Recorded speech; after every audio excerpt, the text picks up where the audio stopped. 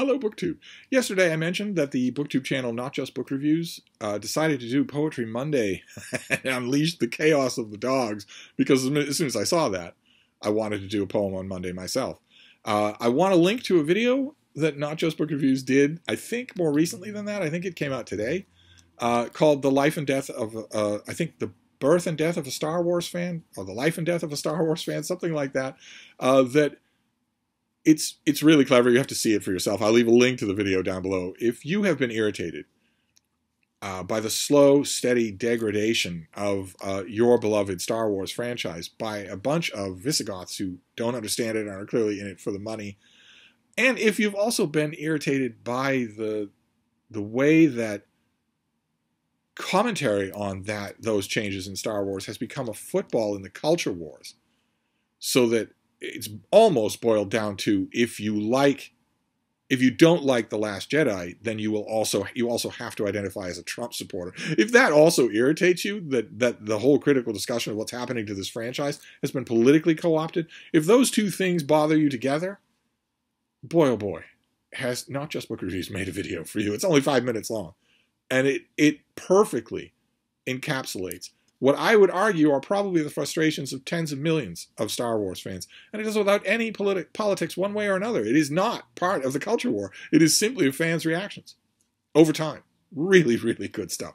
Uh, not just book reviews did not do a Poetry Tuesday, uh, but my uh, my likings are are already engaged. So I'm going to do a Poetry Tuesday. The only other poem I saw today was a poem that was read by Hannah at Hannah's Books. She did a video uh, talking about basically, what do we do with Russian classics during the, these last 10 days of Russian news with, with the, the dictator of Russia openly threatening nuclear war? What do we do with Russian classics? Hannah had long planned a read along of War and Peace. What do you do with a read along of War and Peace if, if the news is the way it is these days?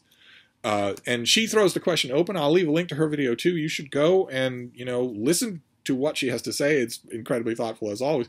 And then, if ever there was a use, if ever there was a time for a BookTube videos comment section to come to life with people just discussing what do we do? How would you feel about doing a read along of a great Russian classic when a, a Russia's current president, who claims that classic is one of his favorite books, is threatening uh, the devastation of a free democratic country and also the devastation of the rest of the species. What do you do with that conflict? Feel free to go to, to her channel, watch that video, and then give her your thoughts. Um, and she closed that video that she did by, by reciting a poem. Uh, but as far as I know, nobody else has done poetry on a Tuesday. Not even your precious Aaron Facer. Maybe Aaron just doesn't like poetry all that much. but I'm going to read you a poem today on Poetry Tuesday. Maybe I'll read you a poem every day this week. It's a free country. Right, for now, I can if I want to. And we're going to go once again to the Norton Anthology of Poetry. I've been I've been uh, just working my way through this bits and pieces, but I hit I've hit a, a really good jag of reading here. So, uh, and we're going to go back in time. I read you something relatively recent, an author's just recent, Robert Graves, just recently. I've, I've read uh, more recent people. Now we're going to go back to Shakespeare's day and to someone who may have been Shakespeare's friend, uh, the author Samuel Daniel who is not known anymore. He's hardly anthologized anymore. There are no biographies of him. There ought to be. We have an absolute mountain of documentary evidence for him compared to, for instance, Shakespeare, who has 5,000 biographies. There's been no big, as far as I know, no big popular biography of Samuel Daniel, even though he was well known to all of the literary figures of his day. They they influenced his writing. He influenced their writing. There was all sorts of borrowing or stealing going in both directions. He was almost certainly known uh, to a lot of the major players in Elizabethan literature. He was certainly known to uh, the Sidney family, to the Countess of Pembroke. Uh, he worked for her, joined her household, for Pete's sake, after a very interesting exchange. A very interesting, it could have gone disastrously wrong. The way that he actually came to the attention of the sister of Philip Sidney uh, was the inclusion of, of some of his poems in a work where she that she didn't want published at all, much less with his poems in it, in addition to her brother's. And that could have gone horribly. And instead, it, it turned out really well. And there's a story behind that that could be artistically inferred in a very entertaining biography, but no one's done it. but anyway, I'm going to read you a Samuel Daniel poem, probably the first Samuel Daniel poem read on BookTube. this is called Are They Shadows? Are they shadows that we see? And can shadows give pleasure give?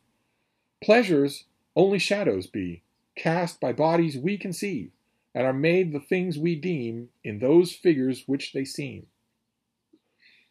But these pleasures vanish fast, which by shadows are expressed.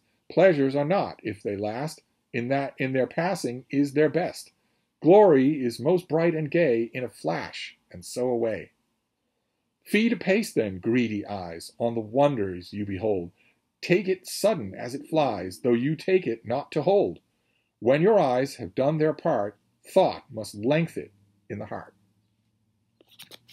Uh, and in that you can see what those of you who've studied the period at all will know. The Elizabethans were wonderful at playing with language. They loved to fold it and then fold it on itself and then fold it a little bit more. We could spend a whole day dissecting the rhythmic game playing that's going on just in a little ditty like that, that probably took Samuel Daniel an hour to write. We could dissect that all day, and it's lovely, and its sentiments are lovely as well, you know, which is that uh, enjoyment comes and then flashes away. It's our thoughts that lengthen it, it's our thoughts that even make it what it is. Just lovely, makes me want to read a lot more Samuel Daniel. Fortunately, this Norton Anthology of Poetry was done long enough ago so that there's plenty of him in here. I will probably read a lot more. And will we do a poem on Wednesday? Any of you care to join me in a poem on Wednesday? I'm thinking yes. so I will wrap this up for now and we will see what we can find tomorrow. Thank you, BookTube.